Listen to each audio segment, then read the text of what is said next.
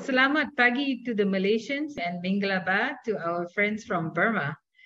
I have a PowerPoint to share as a basis of discussion. Why do we need human rights documentation? Dr. Su from University of Mandalay uh, uh, talk, uh, referred to the situation on the ground in Burma, Myanmar. Burma, Myanmar has had a legacy of systematic human rights abuses. By systematic, we mean that uh, this is not an accident. It is part of a policy by an institution, such as the Tatmadaw, and it's widespread. So this type of violation is happening everywhere. Now that's the legacy. Since February 2021, when the military launched a coup to grab power in the country, we have seen a very es escalating conflict and all kinds of human rights abuses happening on the ground, not just in the ethnic border areas, which were the traditional areas where most of the human rights violation, especially uh, uh, military attacks on civilians were happening, that now we after the February 2021, we saw military attacks on civilians happening every part of the country, including in the urban centers in the central zone, such as uh, Mandalay, Naypyidaw, uh, Yangon, Bago, etc. Um, so uh, this is this is the pattern, and when we're talking about how to do documentation, I will first go into why we do human rights documentation. Very often, human rights documentation happen in two levels. One is documenting individual cases that happen. And if you are a journalist like I was, it's quite easy to understand what is the information we require. Firstly, what happened? What is the human rights violation that happened? Very often an incident may be like one incident where someone was arbitrarily arrested, tortured, and then killed in custody is already violating several rights as recognized by the Universal Declaration of Human Rights, by uh, uh, the um, Covenant on e uh, economic, social, and cultural rights, and civil and political rights, and also the Convention Against Torture. So you can already start to see if we are looking at this incident, we already have to start thinking about which rights under which convention or treaty were violated. But don't think about that first. The main focus is to think about what happened, who was the victim, who was the perpetrator, how this happened before we start analyzing which rights were violated. So in journalistic terms, since I, I was a crime journalist as my first full-time job back in 1981 to 1983, uh, the, the, the journalists are trained, and this is also what documenters are trained to do, what happened? who was affected, who did it happen to, and who did it, or who allegedly did it. When did this happen? Where did this happen? How did it happen? Which is the chain of events that led to this situation happening and how did the situation take place and why we think it happened. Yeah. And um, also as human rights activists, we often have to think about what happened after that. Did people try to complain about this case? Did people try to tell the perpetrator what you're doing is wrong? Did the the uh, the victim try to escape or try to get help? So, and what did the other side do? This is something that's quite important. For example, when we are doing advocacy about what is going on in the country, in Burma, um, what I often point out to governments is that the military junta is started to use a lot of drones. And what it means is that before an airstrike or artillery strike is, is launched on a particular area, they send drones to go and spy and see who is there and what is happening. That means if they bombed a civilian school or they bombed the church or the monastery or they bombed civilian homes, it means they already know in advance what is in that place. So it shows an intent. That means the military purposely bombed that place. They use drones to check who is there, what are they doing, and then they send airstrike or artillery fire into that area. So governments and human rights organizations get shocked when I give them this information because then they start to understand that the military purposely bombed civilians, which is a war crime under international humanitarian law. So this is why sometimes we we not just look at what happened to the victim and who is the perpetrator, but we are also trying to build evidence that the perpetrator knows what they are doing. This is not an accident. They didn't say, oh, I was aiming at those PDF or those armed group there, but I accidentally bombed these people. No, they knew very well because they sent the drones to spy on the people first. So this is one of the pattern that we could track from other human rights reports. And it makes our advocacy quite strong and our demand for accountability quite strong. So when we do human rights um, documentation, we are looking not just at the individual cases which happen to individual victims, but we are also tracking patterns of behavior, especially by the perpetrators. Whether this is a systematic uh, process, whether the perpetrators know and are doing it on purpose, and also to try and understand how serious is the situation getting.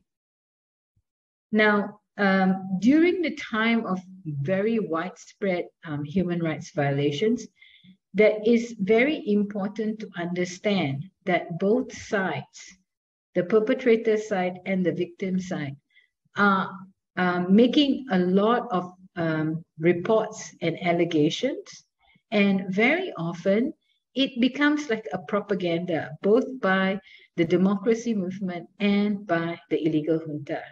That's why documentation for histor- as a historical record to gather the evidence gives us proof as to how serious the problem was and who is doing it so that we have evidence not to show that we are not exaggerating our claims.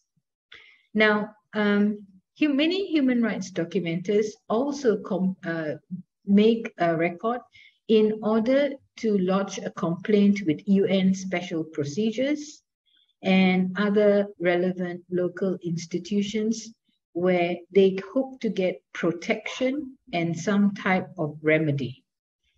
Um, this is uh, quite important in the long term. You may not necessarily get a very quick reply. You might not get the solution or the remedy that you want.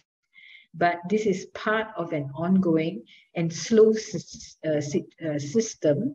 So this is also important to understand in the big picture.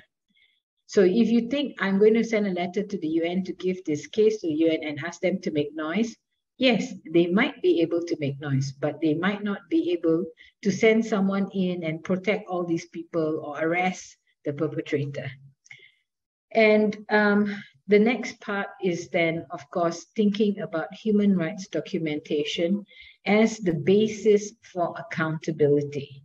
When we're talking about accountability and justice, especially since uh, witnessing the human rights violations and serious violations of international law by the illegal junta now people are calling for accountability, that they should eventually be punished for their crimes.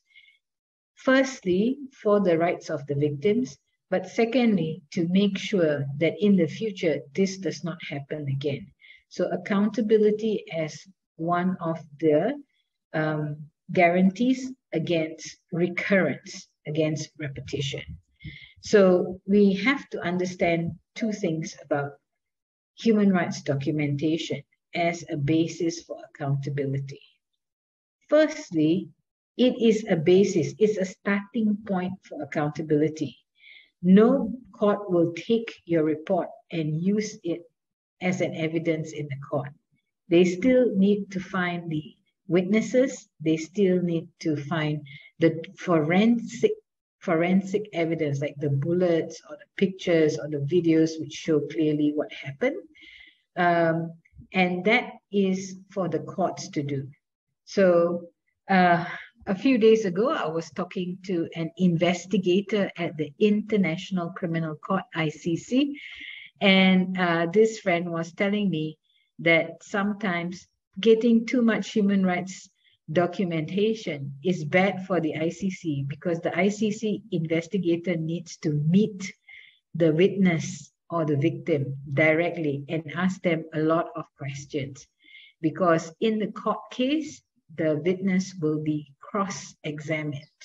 Yeah, so for, for law lecturers, you know that in a court case, the other side has a chance to prove their innocence and they might actually question, ask a lot of questions from the witness who is testifying in the case. So it is a different situation than compiling a human rights report. So we can, but when we do human rights report, it becomes the starting point for the investigators to go and find the witness and to get some more evidence. Okay, so in some ways, the human rights documentation is telling a story of what happened. It cannot be used as evidence in the court, but it can be the starting point for the prosecutor to go and find where is this victim and how do I get a good evidence from them for the court case.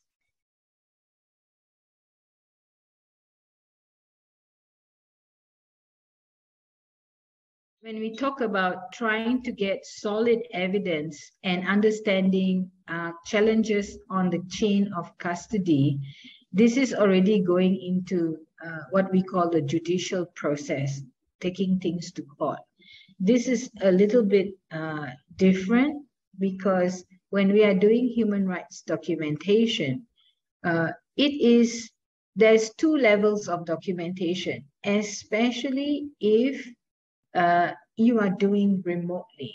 Now there's, because of conflict, repression, uh, systematic repression by uh, the junta, it is difficult for human rights documenters to travel safely to the location where the human rights violation occurred.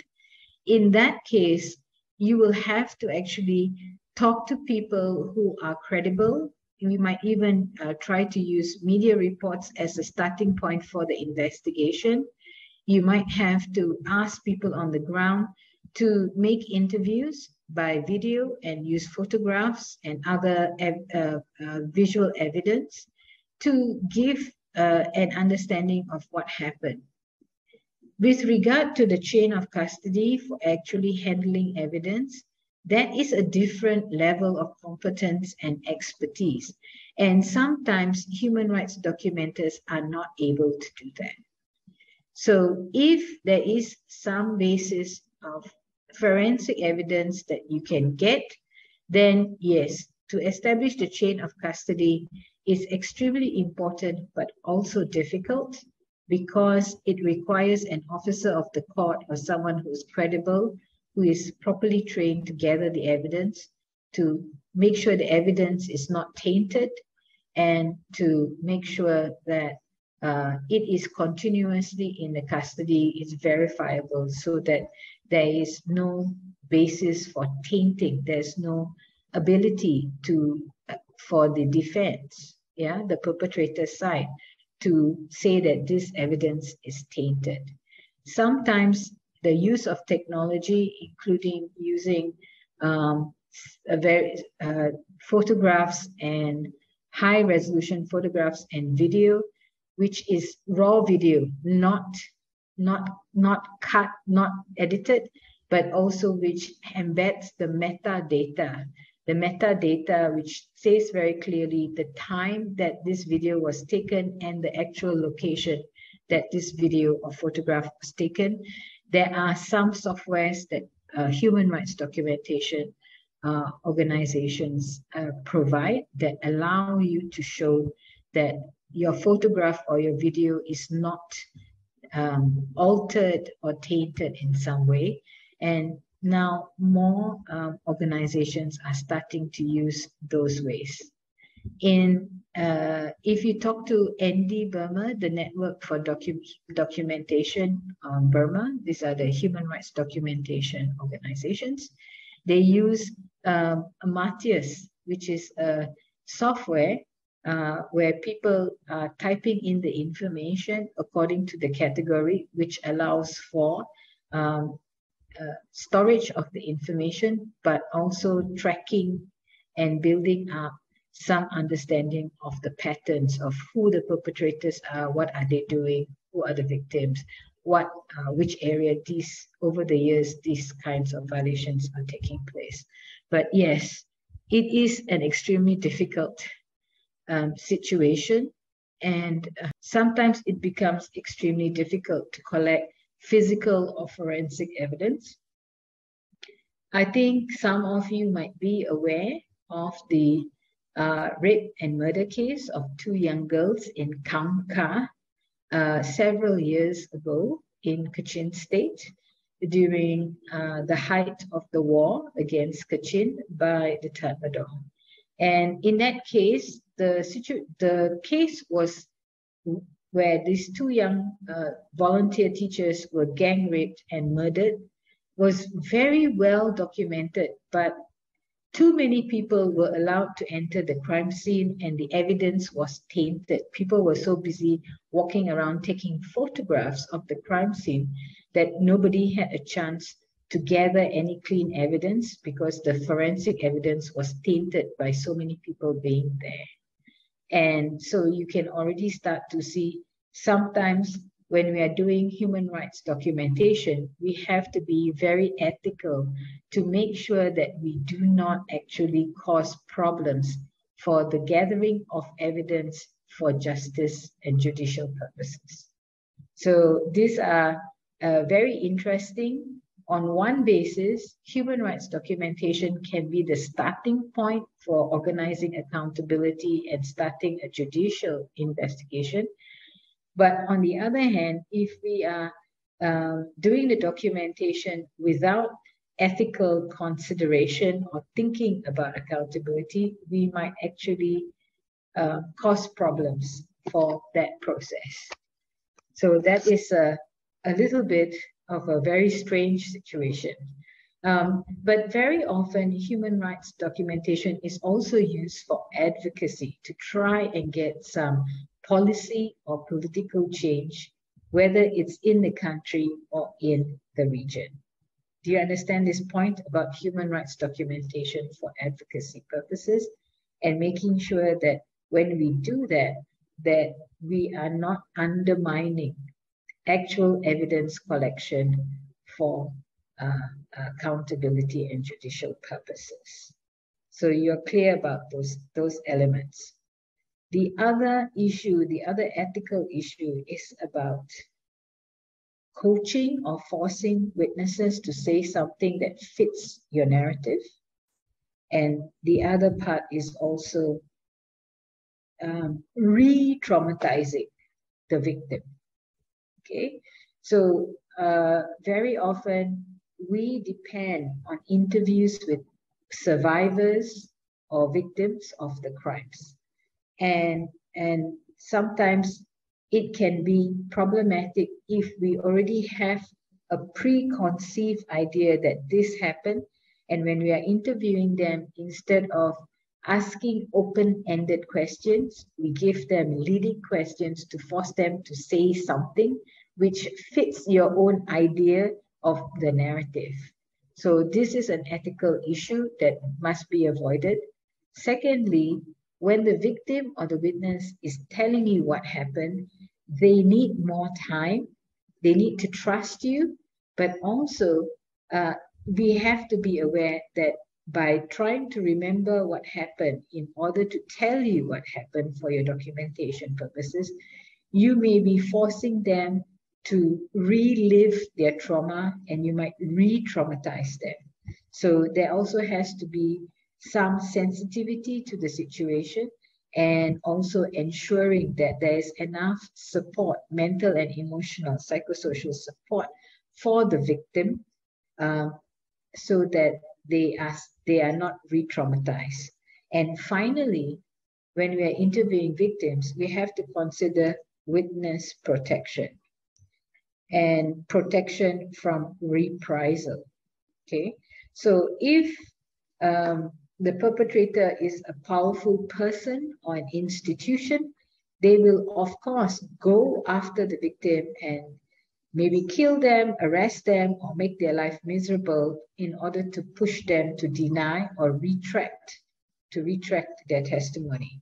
So um, when we are thinking about interviewing the victim, we have to also think what protection do we need to give them? In order to gain their evidence or their story, their testimony. Sometimes we have to protect their identity by using a pseudonym. Sometimes uh, we might have to uh, be careful about what we end up reporting. So what we document and what we report might be a little bit different. But also thinking about whether we need to already organize in advance with other organizations, relevant organizations on how to protect this person and keep them safe after the documentation has happened. Now, if we are doing that because we are looking for accountability, that means this person is potentially a witness who can be taken to the court in the court case against the perpetrator. Then you really need to protect that witness and their family. So here is a little bit of uh, documentation in which we monitored all the cases that happen and try to build the pattern. Yeah, so there's individual cases, as I say, for human rights documentation, and there is tracking all the events and summarizing them to show a pattern. So this is uh, something we, we published in April that from 1st of February to 15th uh, of 1st of February 2021 to 15th of April 2022, there were 10,786 armed clashes and attacks on civilians in Burma, Myanmar. And this is more than Syria, Yemen, Iraq, or Afghanistan in the same period. So you can see here at the, here in September, the numbers started to go up consistently here. And then you can see during that period, this is the total number of clashes. And we compare to Syria, Yemen, Afghanistan, it's higher in Burma, Myanmar. And then we show where's the source. This is the ACLED, the um, Armed Conflict Location Event Database.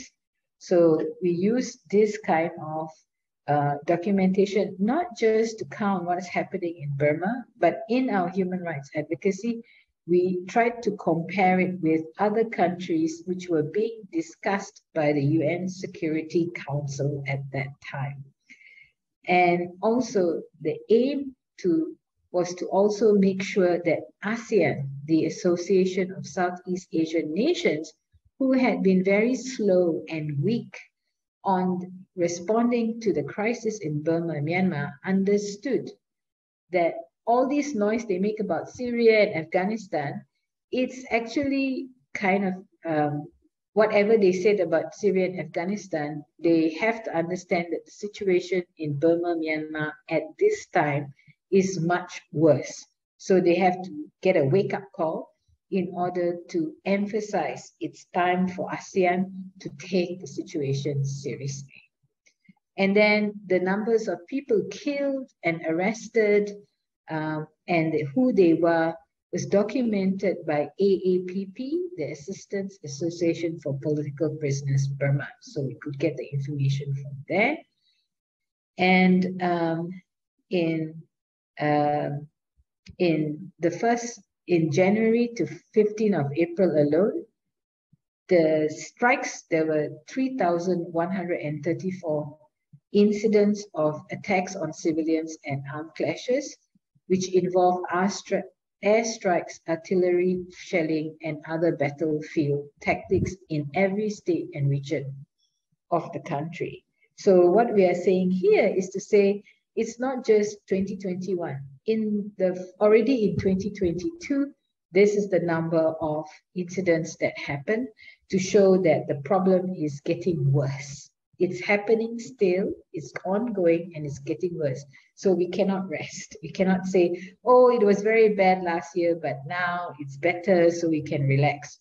That's not the case. So you could see that trying to use this evidence and documentation in this way to push our advocacy to try to get ASEAN to be less complacent. Now, how did this um, how did this influence what happened?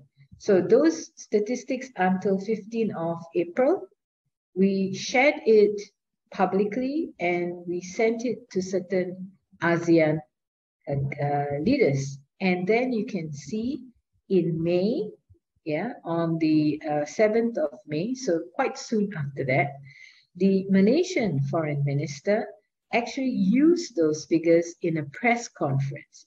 So Saifuddin Abdullah, the uh, foreign minister of Malaysia, citing statistics, said that 10,786 armed clashes and attacks on civilians in Myanmar occurred from February 1st 2021 to April 15, 2022, with 2,140 people, six people killed, da da da, adding that the number is far higher compared to countries in situations of conflict like Syria and Yemen. So if you are remember this statistic, let's look at uh, what we said here, here, here, he actually took the, the exact statistics that we gave him, that we published, and he used it. And this is very important because what an NGO says, we can say the same thing. But if a foreign minister of Malaysia says the same thing, it has more impact and more influence on ASEAN than what we said. So this is why uh, human rights documentation for advocacy is important. And um, he is also speaking about against the five point consensus and that um, uh, uh, ASEAN needs to have a more to be more active on addressing the situation in Myanmar. Do you know why the foreign minister of Malaysia used our statistics? When we publish all these materials, we show where the source, what is the source, where is our evidence coming from. And if uh, foreign minister is thinking these are reliable figures, then he could use that figures, those figures with confidence because he knows it is correct. It is largely correct, I would say, because uh, if the Myanmar junta says, no, it's not true, then we have to tell Myanmar junta, show us your figures. Where's your evidence? Okay.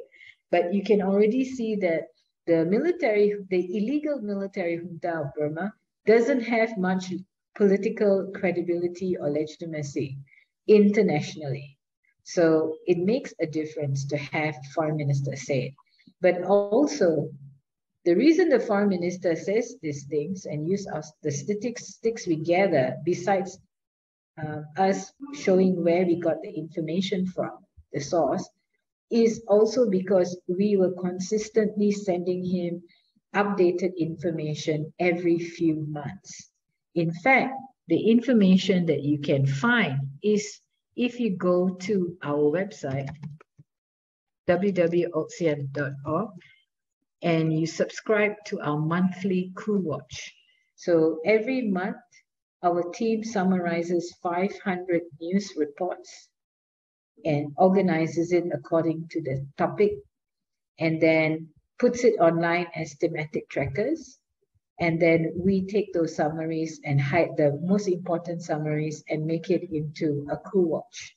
So the coup watch covering um, the development during the month of September was published. It was on 6th of October we published it. So you can find that information. And the reason we put that information out there is to make sure that other activists can use the same information for their advocacy so that they uh, have some reliable statistics and patterns and information that they can use to push for certain things happening. So this is quite interesting to see that the Malaysian foreign minister, who has already been interested in um, addressing the situation in Burma, Myanmar much more, much more critically and comprehensively, he very clearly used our statistics um, because he trusted uh, the information that we put together for uh, the general public, but also he now follows us, ALTSEAN and my uh, Twitter. So when we publish the Coup Watch, he will retweet it. And uh, in a recent meeting, he actually says, I am circulating your Coup Watch to the other ASEAN foreign ministers because they need to have a clear overview of what is happening around the country at that time. And they cannot don't have time to read so many reports. So uh, this is actually, he, he was a big surprise when he told me that. Um, but that is uh, part of the process when we're doing human rights documentation for the uh, judicial process as a basis of accountability, but also to shift advocacy and trying to get some uh, change in policy or having uh, using this type of information to empower others to become advocates. So um, here is another um, way we took data and uh, put it in graphic uh, format so that people could understand more clearly what is the situation. So if you look at the map on your left of your screen, which is in brown color, what we did was we took the ACLED database, um, the numbers of conflicts and put it, organize it according to the state and region. And then you could see that the number of incidents, you can see in the key, white color means less than 100. Uh, gray is 100 to 300 incidents, uh, and 300 to 600, uh, 600 to 1,000, and dark brown is one more than 1,000 incident. So when we took the data and mapped it out, you could see from 1st of February 2021 to 15th of April 2022, a lot of incidents were happening in Sagaing, Mandalay, Shan, and Magway. And Yangon was surprisingly quite high. Yangon and Kachin were almost the same number. Karenni looks easy. It looks less because it's 477. And Rakhine had the least um, in number of incidents. But then what happened was we took the same figures and started to uh, calculate per capita. That means according to the number of people living in that area. Okay.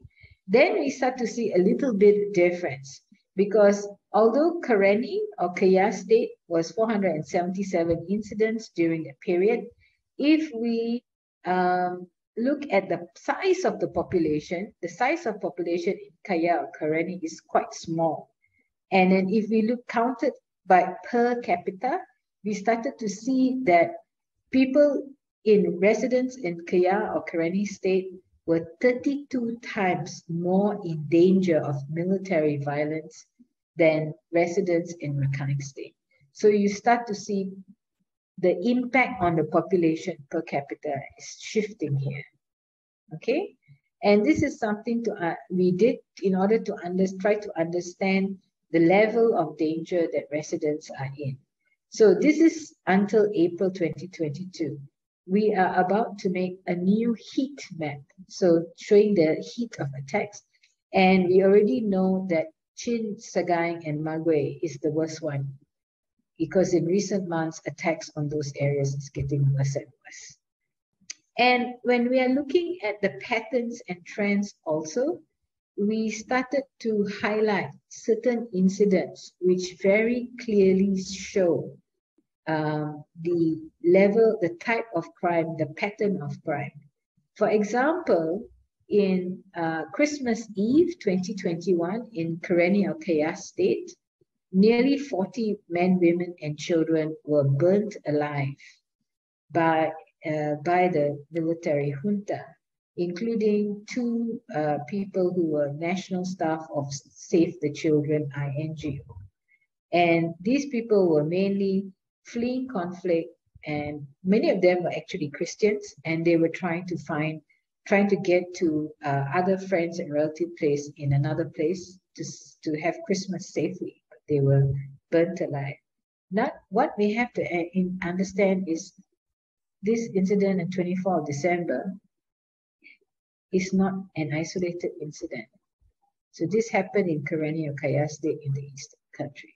But in Sagaing, in the northwest, in December, the same month, actually two weeks beforehand, the troops in Salingyi township tied up 11 civilians, including five teenagers, and tortured them before burning them alive.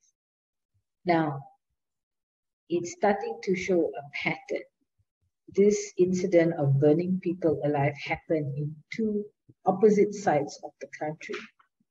The what we had in common was the alleged perpetrator. They were the the troops of the military junta. So we already start to. I've already asked my colleagues to start looking at how uh, whether this practice of burning people alive is turning up in other incidents around the country so that we can already start mapping out that this is a systematic and widespread pattern. Systematic because it shows, it implies the circumstantial evidence is that the alleged perpetrators are all military junta people. They have started this new practice of burning people alive. It's happening in so many parts of the country which implies that somebody is telling them to do this as a strategy. Yeah, they didn't just spontaneously think it will be nice to kill people by burning them alive. Yeah, how did this trend happen? Who is giving the order? So these are the kinds of things that we have to do in terms of that. And then the investigators, the prosecutors also will start, when they see this pattern, they will start also trying to get evidence, yeah, and do the investigation that's necessary. Um, what happened this through this type of publication, trying to publish or raise awareness of these patterns, we could see the international investigative mechanism for Myanmar the head, Nicholas Koumjian, started to actually say very clearly that um, there is a evidence of war crimes and crimes against humanity because his team had been trying to collect the evidence objective evidence. Yeah if we if we have um, evidence very clearly um, biased against the military junta then they have to double check and verify. But we can already see that some of this information has already gone into very important investigative mechanisms or judicial mechanisms. So the International Criminal Court is investigating mainly the crime of forced deportation to Bangladesh, although there's a lot of pressure on them to investigate other crimes and then uh, the investigative, uh, international investigative mechanism for Myanmar is gathering evidence, not just collecting the evidence, but making dossiers, tracking the pattern of who are the perpetrators, who are the officers, senior officers who might be responsible for giving the order. What are the different patterns which are happening? So they are collecting evidence and organizing it in dossiers. And then we also have the International Court of Justice, which is presiding over the case against Myanmar over the genocide of the Rohingya. All of those are different ways of collecting and presenting evidence. In the ICJ's case, it is a judicial process which is ongoing. So all of this, in all of this, human rights documentation had a part to play. But we also have to understand that uh, human rights documentation is different from evidence that is used in a judicial process.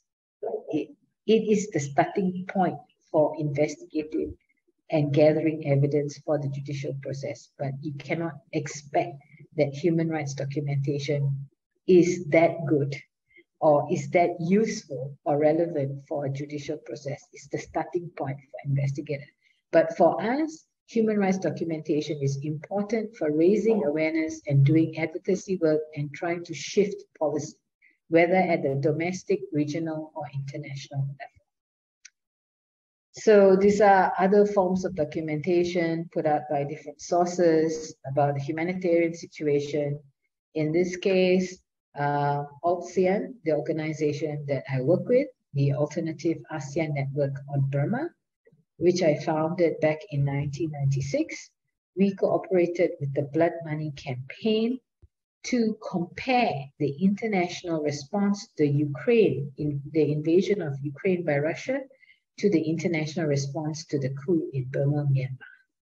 And um, and uh, you could see that what we tried to do is make some very basic tables. You can get it from our website.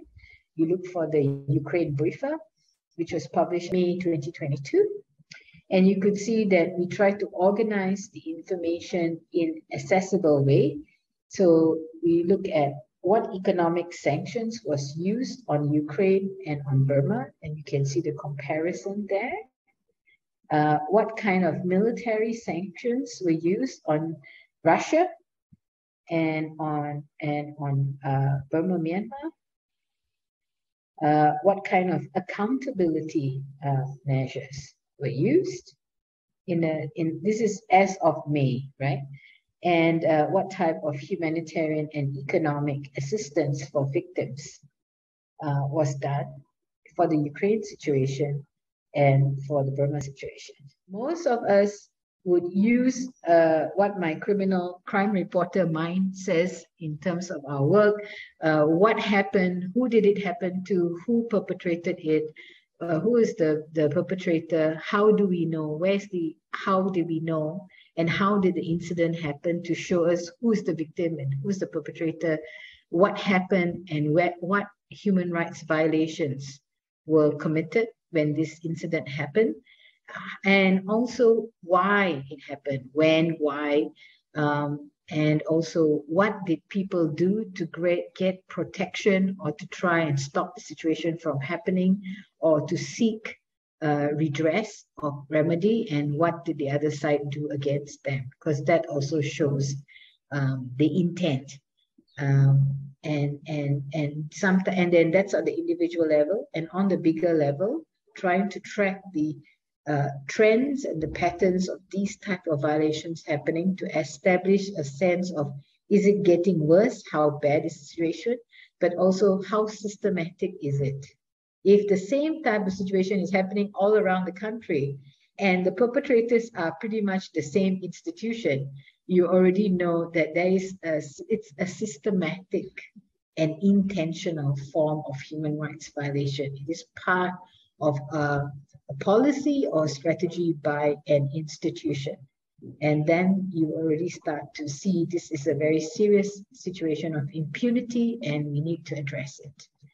Um, and also to understand that when we are doing human rights uh, documentation, we cannot assume that human rights documentation uh, could be that easily used as evidence in the court.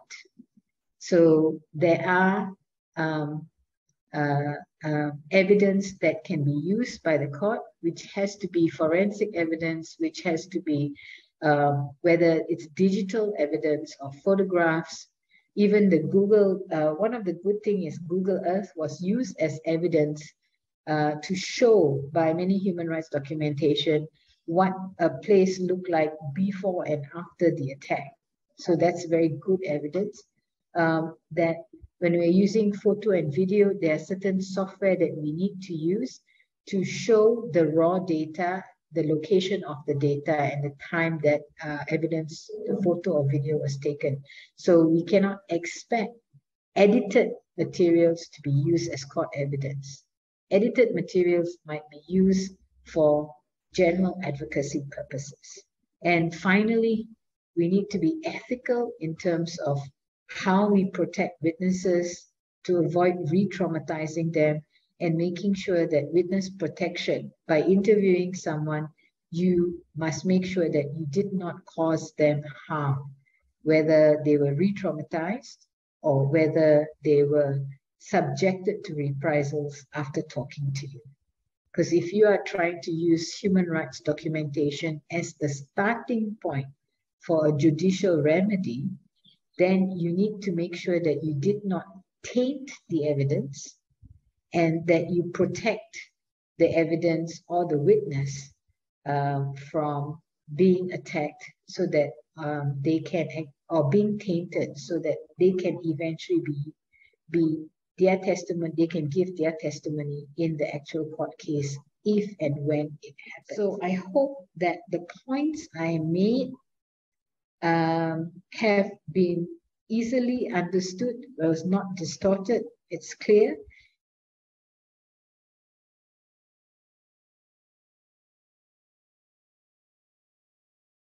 Firstly, uh, the UN's actions that they will take is quite limited and is not up to the expectation of the affected community. Early on in the coup, many people called about R2P, responsibility to protect. They thought that once a number of people have been killed, the international community, the UN Security Council, will send peacekeepers to arrest, uh, to fight with the junta troops and to arrest them and stop the violations from happening. This is not likely to happen for a number of reasons. And one of the reasons is our bad luck. The timing of the coup happened when COVID already took effect on the whole world. So most of the governments, when they are making decisions, uh, they will consider. Firstly, we have India and China on the border, and China is a permanent member of the UN Security Council, so it has veto power.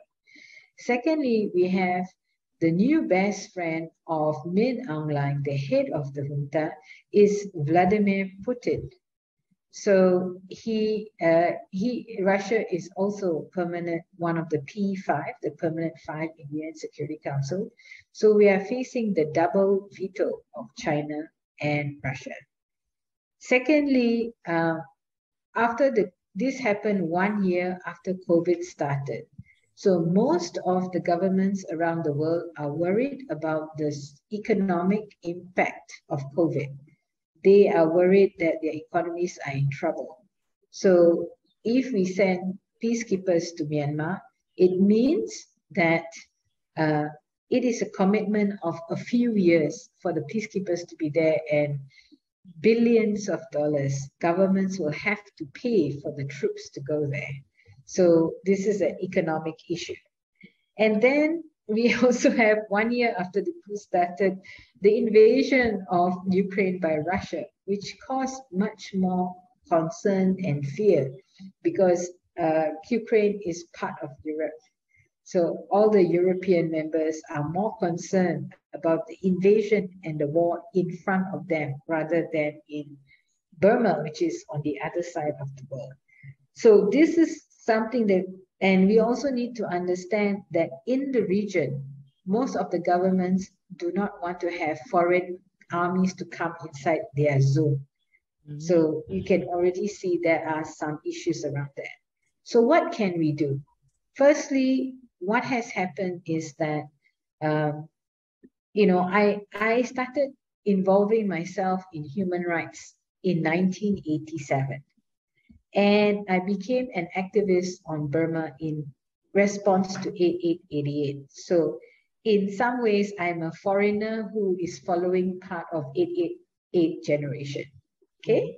Mm-hmm. So what happened is what the country and the movement did within one year of the coup, this coup, is the same as what the movement did within 10 years of 8888. One thing I have to say, and people feel upset because the situation is not getting better, is you have to understand that this movement was more effective and more knowledgeable about international affairs than 888 generation when the uprising happened.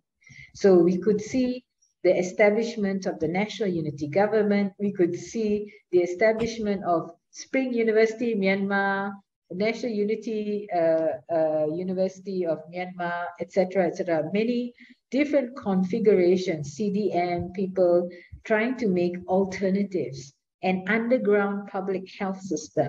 All of these things happened very quickly. We also saw the Generation Z going online and organizing and giving out evidence and doing advocacy to show what is happening in the country by using social media. So it's this movement had become very effective. What is the impact?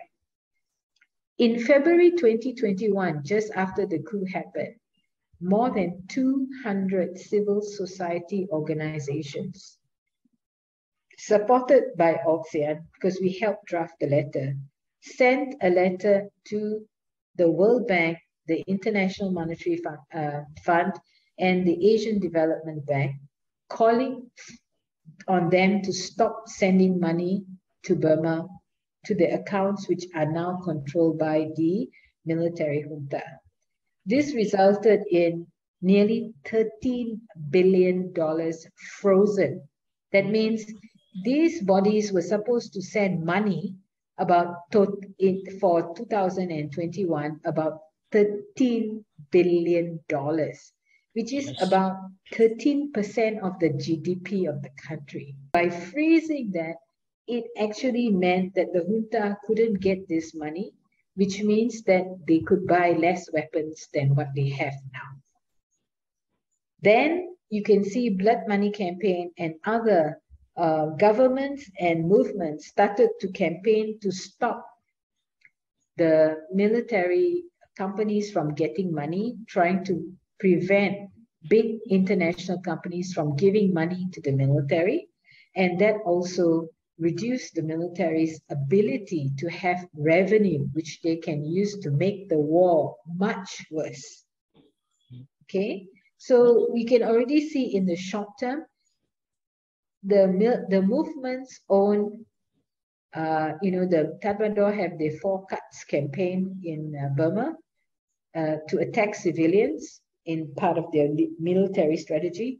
The movement has its own uh, three cuts campaign. One is to prevent, uh, to reduce the amount of money uh, from going to the military junta because the military junta could use this to buy more weapons. So we saw that although the military is still trying to get as many weapons as possible, they could not get everything they wanted. Actually, the military junta is facing a lot of economic problem.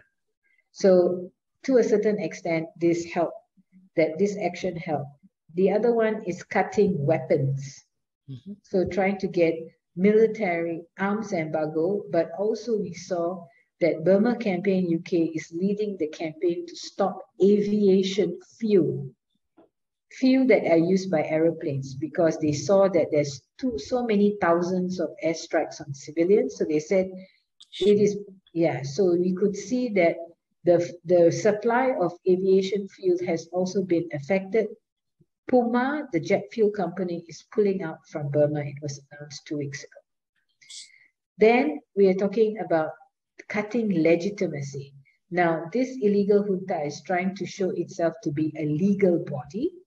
And what is happening is that um, the NUG has successfully so far maintained uh, Mochotun at the uh, Kyaw Moe Tun at the UN as the UN's permanent representative in New York so there's a lot of campaigning to get more recognition for the NUG and uh, to cut the legitimacy of the military junta. And we saw even in ASEAN last year, at the end of last year, ASEAN blocked what they call political representative from Myanmar to the ASEAN summit and the ASEAN foreign ministers meeting. Now, the uh, military junta is still present in economic ministers meeting, defense ministers meeting, and other meetings. So now Saifuddin Abdullah and other foreign ministers are considering to cut them out of these other ASEAN meetings as well. So it is cutting legitimacy of the junta. And finally, to find ways to get more accountability, more improve the evidence collection and starting to find ways and means of getting more and more judicial um, uh, remedy against the military junta. And we are seeing that in process too.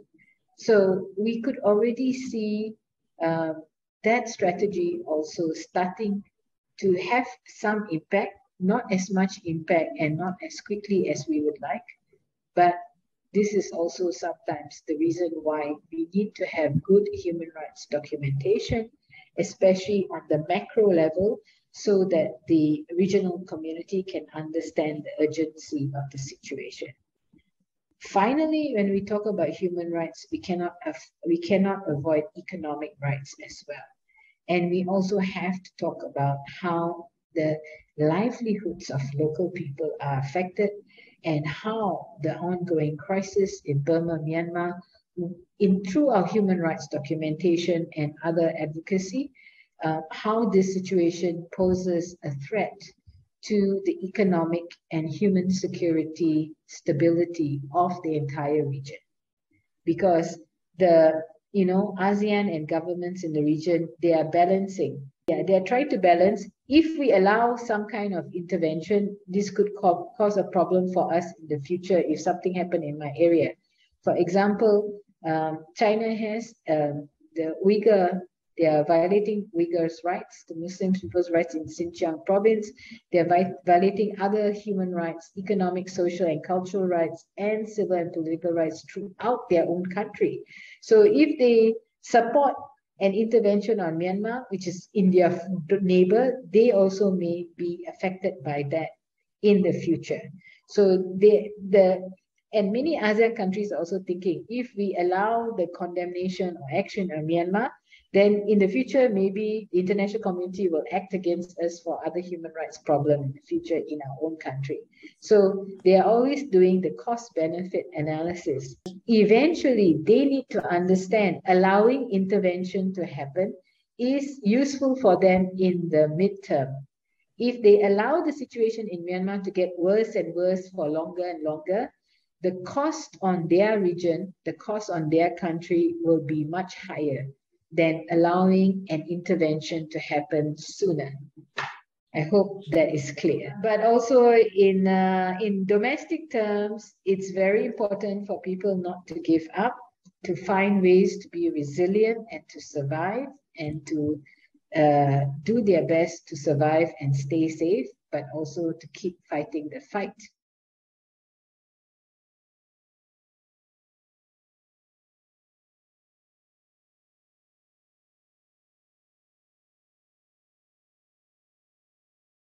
firstly, we need to understand um, uh, uh, uh, one thing that a lot of human rights documentation, valuable human rights commission, uh, uh, documentation, actually comes from lawyers and doctors. It comes from lawyers and doctors. The doctors who have seen the evidence, like saw people the the ones who uh, either were died because of torture, they had to do the medical examination, or when they had to give treatment to the victims of torture, when they were uh, you know when they could get medical assistance. So doctors were in many situations around the world was a very important source of human rights documentation on cases of torture and extrajudicial killings. So, um, and lawyers themselves, because they are working with their client, and uh, I have uh, many of my students and close friends, you know, when we heard from the lawyer what happened during the interrogation. So in Myanmar, interrogation centers are essentially torture centers. when our friends get arrested, we pray that they have the minimum interrogation period because the longer their interrogation, the more torture they will get.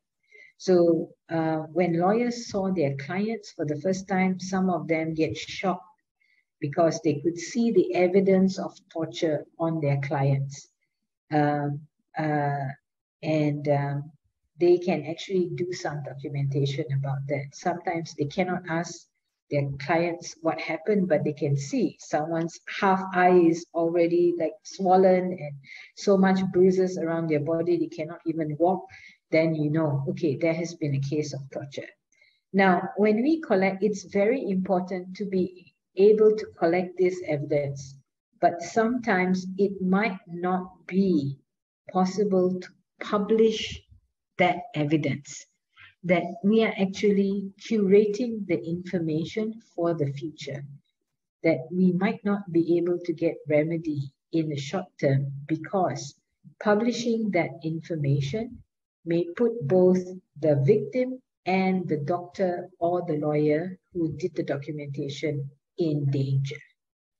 So we need to understand that in these cases, it is a good idea to collect and do as much evidence uh, reporting information as possible, but we might have to keep the victim and the documenter's names separately from that evidence because if that information is accidentally leaked, it will cause much more danger for the victim and the lawyer or the doctor who provided, who, who documented this case.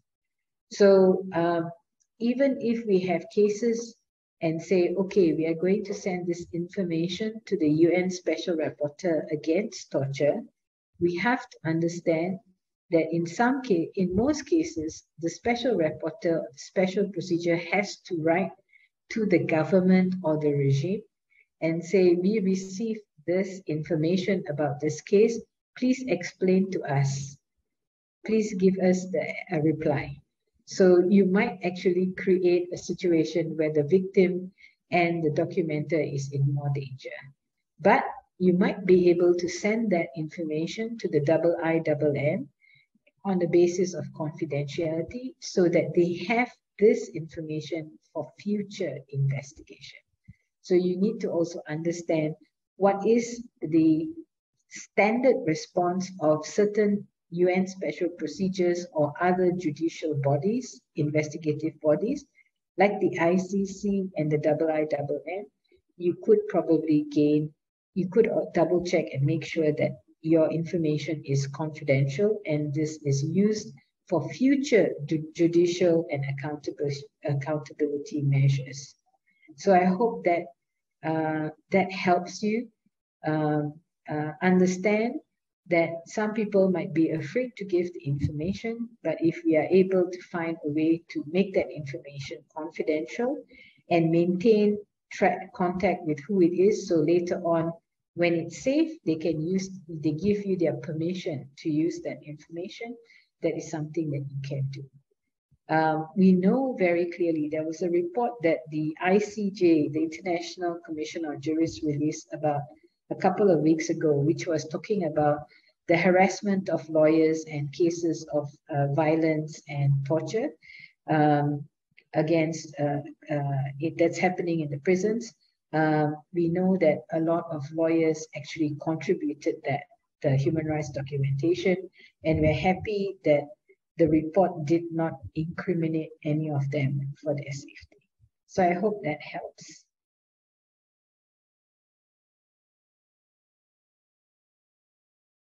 For example, uh, the, the incidents in Indonesia in 1965, which are still very which are very serious and still have not been properly officially investigated by the Indonesian authorities, and there's a denial in terms of the judicial remedy.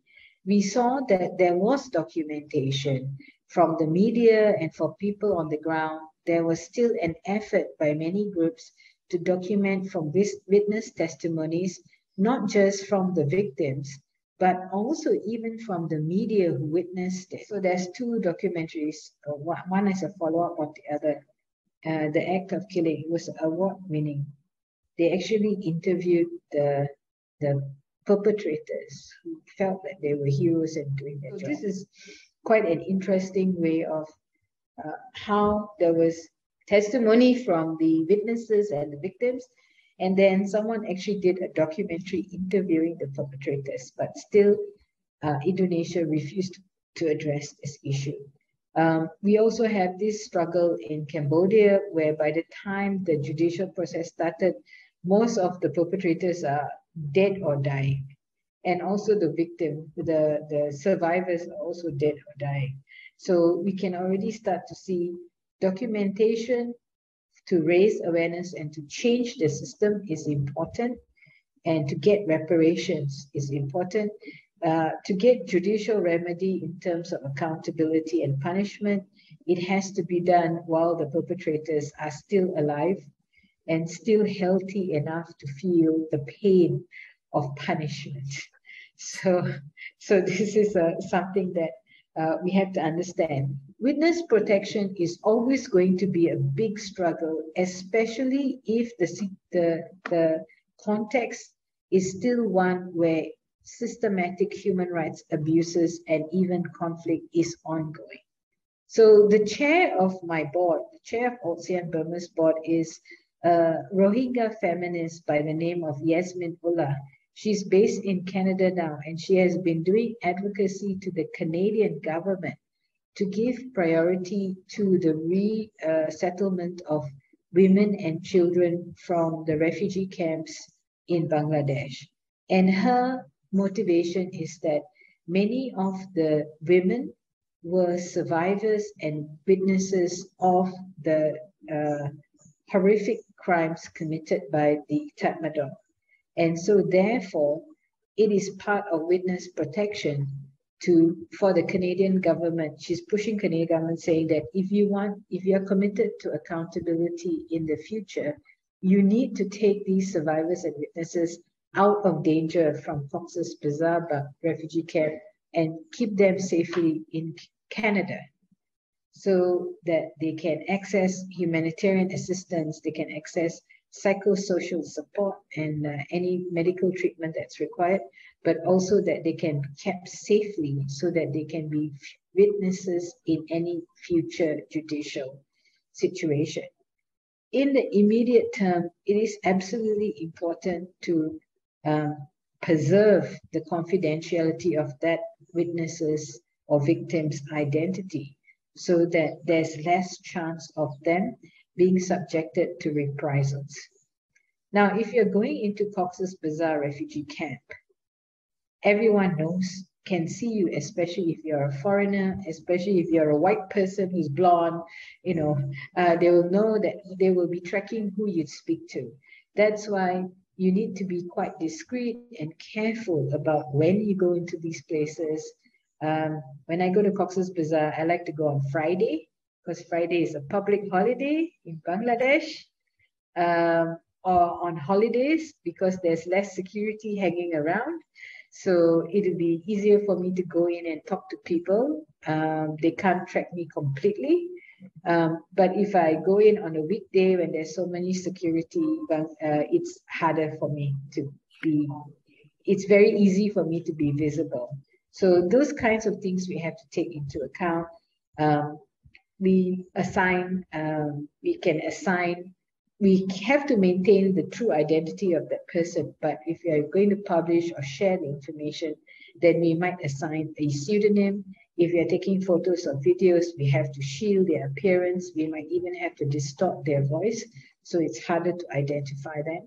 But most of the time, it's also thinking about how can we get them to a safe place where they are not going to be subjected to reprisals. And if your witnesses and the documenter is in the area, physically in the place of violation, this is actually quite difficult. Um, and people have to make some informed risk. The witness themselves have to understand what is the risk of talking to you. Many times, some NGOs are very unethical. They go and say, don't worry, we will give you protection or this is so you can get justice. And they didn't warn the people about what what the danger is and what measures that you can take to protect them, whether it's a limited measure, so that they can make an informed decision. So some people thought they could immediately get a compensation or the perpetrator could be arrested and taken to court immediately, but actually that is not realistic and they they gave you the information with false with un- misunderstanding the situation and not having realistic expectations or understanding of how their testimony will be used. So it's also for us documenters to be ethical about this. And I hope that uh, whatever information I gave you is limited, but I hope it gives you some help. But best of all, please stay strong. Please be resilient. And on this part, part I will say goodbye.